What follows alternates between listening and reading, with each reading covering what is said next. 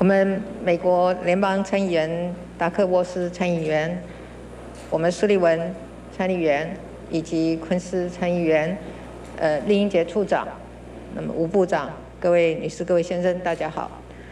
今天非常欢迎三位参议员来到台湾，三位参议员都是台湾的好朋友。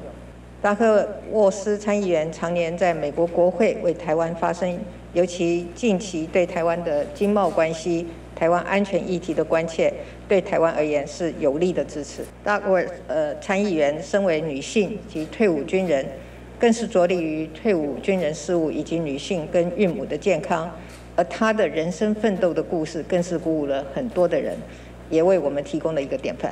苏利文参议员和台湾渊源很深。一九九六年台海飞弹危机的时候，是参与美军巡弋任务的陆战队的成员，在二零一九年呃担任台湾保证法参议院版的共同提案人。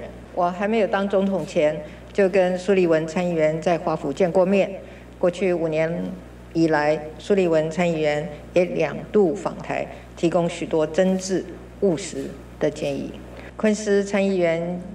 前年第一次来台湾的时候，正是台湾关系法立法满四十周年。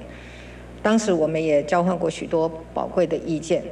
去年全球合作及训练计划，也就是 GCTF，能够获成功的获得美国国会的拨款支持，昆斯参议员是重要的推手。这几年来，台美之间真朋友、真进展，三位参议员都扮演了重要的角色。对于双方不断深化的伙伴关系，也一定。体会最深。各位特别在密集的韩国访问行程之后，专程来到台湾，短暂停留三个小时，带来美国国会跨党派支持台湾的讯息，再一次展现台美坚若磐石的情谊。我在此代表台湾人民向各位致上最深的谢意。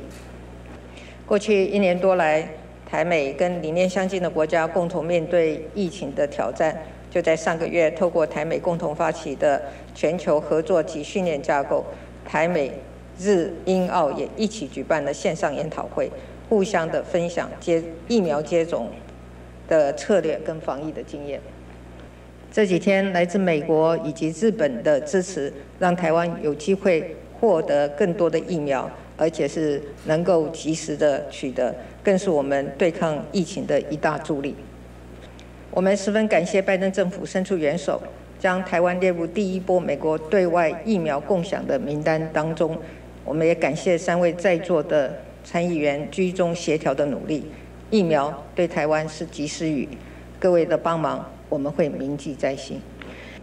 我也期待接下来透过与美日等国的合作，台湾能够度过眼前的挑战，也能协助各国克服疫情，走向复苏之路。我相信每一次的挑战，每一次的互助，都让彼此的关系更深，合作更广。即使在疫情期间，台美双方仍然在经贸、科学以及技术、五 G 及电信安全等领域建立了许多合作的机制，也共同维护了印太区域的自由、开放和和平繁荣。